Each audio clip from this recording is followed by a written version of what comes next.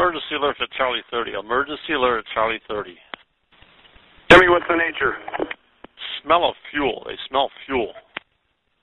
They smell fuel inside the aircraft.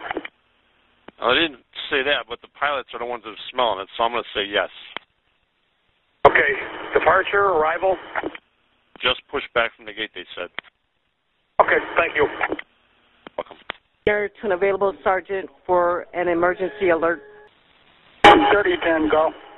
3010 is going to be at Charlie 30. United Flight 645 did a pushback and they smell fuel. 10-4 on the way. Are you going to need a fuel car? I don't have anyone at the moment. Center 7208, 3208. John Boy 394-804, 394-804. Event of 11168, 11168. P number 180-803-094, 180-803-094. Copy, thank you. 7245. 7245. 45.